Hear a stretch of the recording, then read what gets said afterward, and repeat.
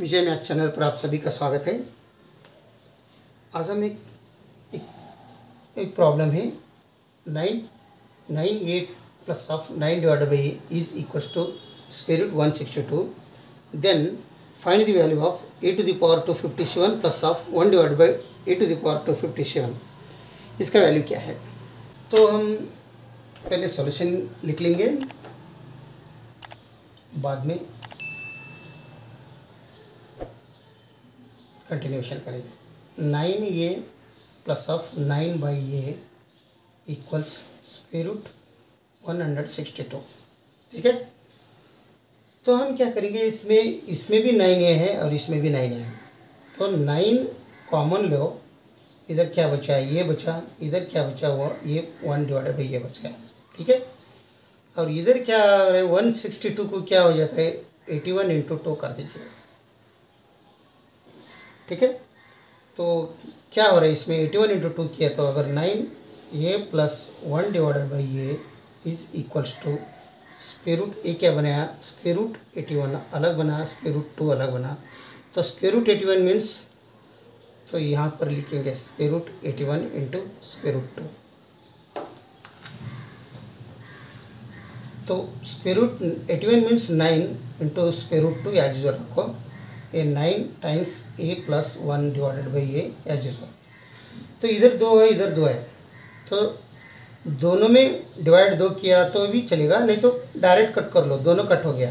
तो क्या बचा है? A plus one divided by a is equals to square root हो गया। तो हम इधर स्केयरिंग बोथ साइड्स करो, इसको स्क्वेयरिंग बोथ साइड्स तो दोनों तरफ़ अगर स्क्वेयर किया तो इसको भी स्क्वेयर किया और रूट टू को भी स्क्वेयर किया। तो क्या बच बच रहा इधर? A plus b whole square का फार्मूला यूज़ कर दो इधर।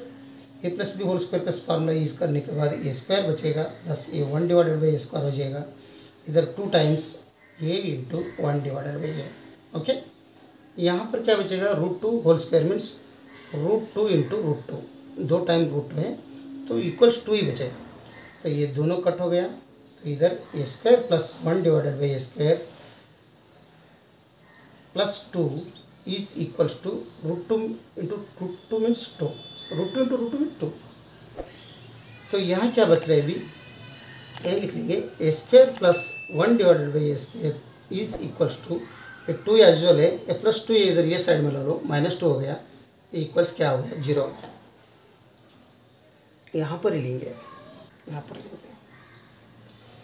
ये क्या बचेगी ये क्या हो रहा है? एक a square plus one divided by a square is equals to two minus two equals zero यानी a square plus one divided by a square equal zero हो गया।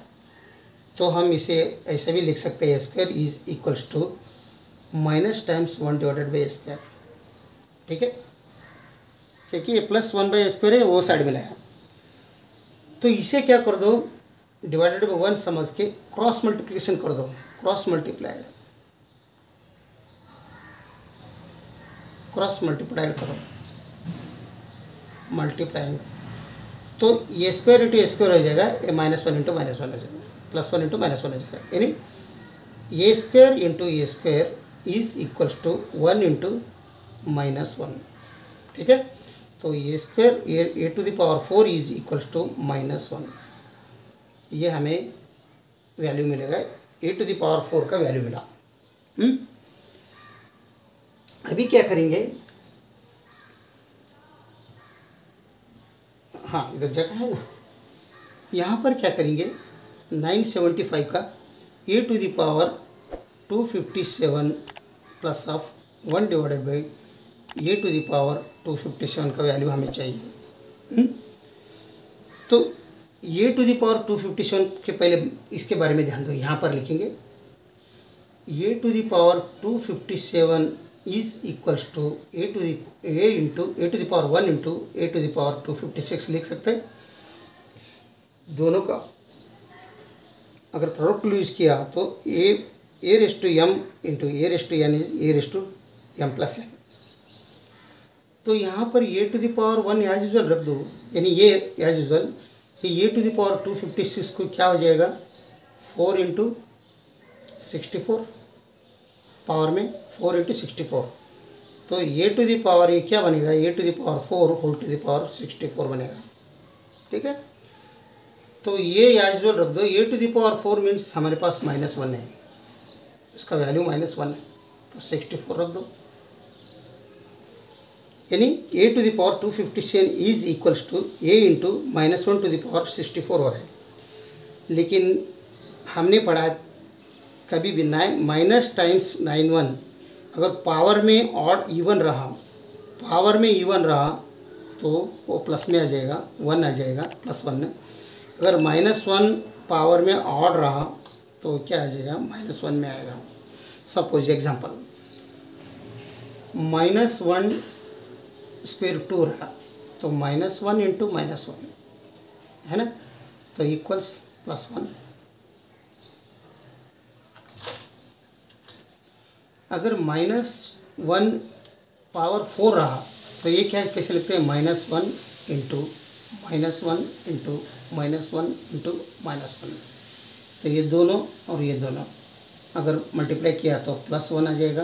और इंटू ये रहेगा ये दोनों प्लस किया तो प्लस वन रहेगा। तो plus one into plus one plus one यानी minus one times four equals one minus one times square equals one minus one times four यानी इसका मतलब minus one to the power अगर even number रहा तो उसका वैल्यू कभी भी एक रहता है। ठीक इसी तरह minus one to the power और नंबर रहा थ्री रहा तो माइनस वन आएगा आंसर वो भी देखेंगे। क्लियर होने दो पहले। माइनस वन टाइम्स थ्री अगर रहा तो minus one into minus one into minus one इसमें क्या आ जाएगा? देखो, ये दोनों को मल्टीप्लेशन किया तो प्लस वन आ जाएगा। Minus one minus one plus one into one one लेकिन इधर माइनस वन एज यूजल बचा है। तो plus one into minus one minus one into one one देखो माइनस वन होल क्यूब मतलब माइनस वन ही आ जाएगा। ठीक इसी तरह minus one to the time five भी अगर रहा तो भी माइनस वन आएगा। Minus one time to the power seven रहा तो भी माइनस वन आएगा।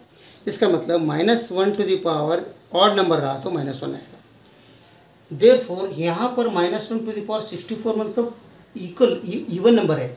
तो इसका value minus one to the power sixty four मतलब प्लस वन ही आएगा minus one to the power two रहा है जैसा। प्लस वन आ जाएगा वैल्यू माइनस वन यानी इवन नंबर है ये भी इवन है। तो इसका वैल्यू क्या आ जाएगा? A to the power two fifty seven equals a into minus one means one minus one to the power sixty four means one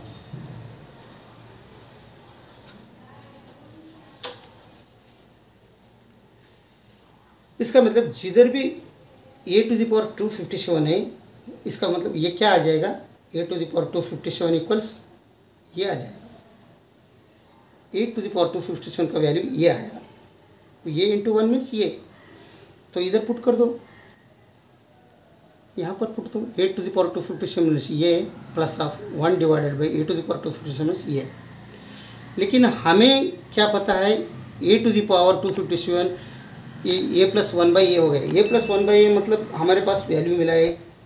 यहाँ पर देखो रूट टू तो इसका मतलब इसका value root two therefore a to the power 257 plus of 1 divided by a to the power 257 is equals to root 2 यही answer है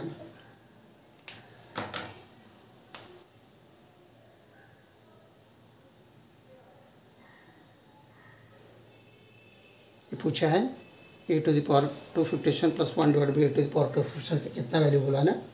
तो इसका आंसर क्या आ रहा है? स्क्वेयर रूट टू मैं समझता हूँ। कुछ प्रॉब्लम रहा तो रिवर्स देख के ये कीजिए। कमेंट्स कीजिए। मैं उसका क्लियर करने का कोशिश करता हूँ।